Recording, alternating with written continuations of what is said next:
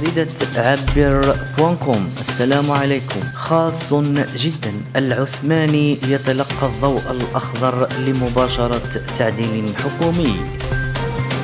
علم من مصادر خاصة أن سعد الدين العثماني رئيس الحكومة المغربية تلقى الضوء الأخضر لإجراء تعديل حكومي طال انتظاره من قبل المواطنين خاصة بعد توالي فضائح الوزراء وقلة خبرة البعض منهم ومردودية البعض الآخر ناهيك عن الكظاظة وكثرة كتاب الدولة في الحكومة الحالية.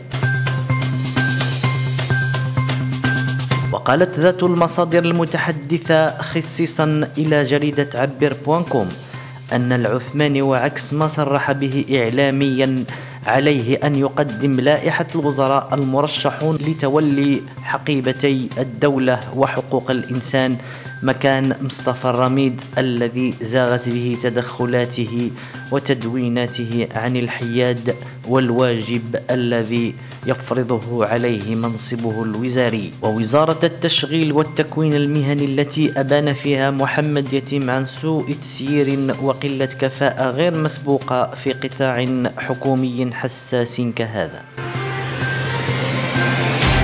غير أنه من المنتظر أن يتوسع ذات التعديل الحكومي ليشمل وزراء آخرين.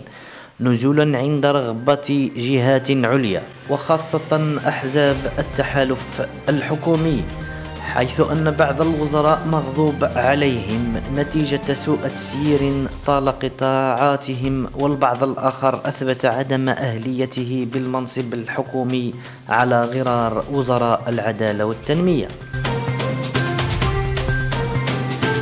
وبخصوص المغادرين لسفينة الحكومة يتم حاليا تداول أسماء كل من الغراس وابن عبد القادر وأبو طالب ومصلي وبعيدة وأحلي وبستة والفردوس.